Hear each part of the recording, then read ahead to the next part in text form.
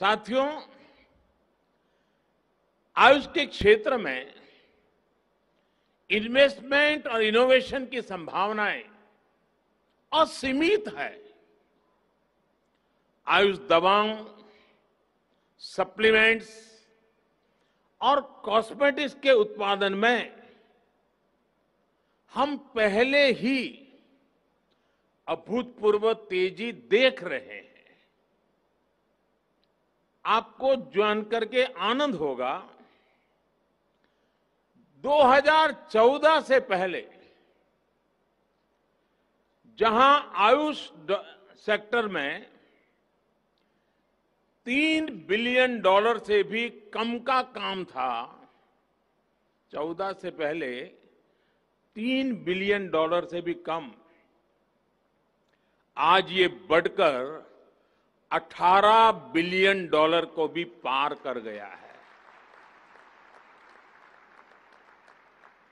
जिस प्रकार पूरी दुनिया में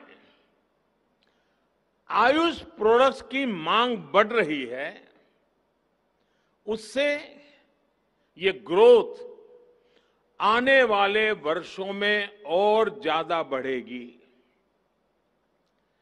नेशनल सप्लीमेंट्स हो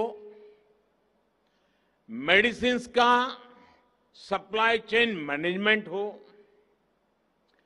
आयुष आधारित डायग्नोस्टिक टूल्स हो, या फिर टेलीमेडिसिन, हर तरफ़ इन्वेस्टमेंट और इनोवेशन की नई संभावनाएँ हैं। साथियों आयुष मंत्रालय ने ट्रेडिशनल मेडिसिन क्षेत्र में स्टार्टअप कल्चर को प्रोत्साहन देने के लिए कई बड़े कदम उठाए हैं।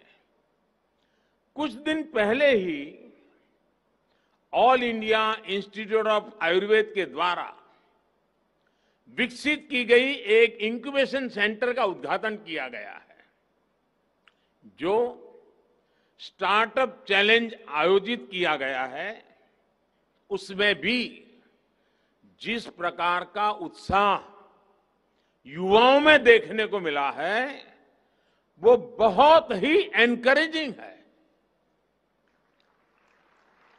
और आप सब मेरे नौजवान साथी तो ज़्यादा जानते हैं कि एक प्रकार से भारत का स्टार्टअप का एक स्वर्णिम युग शुरू हो चुका है।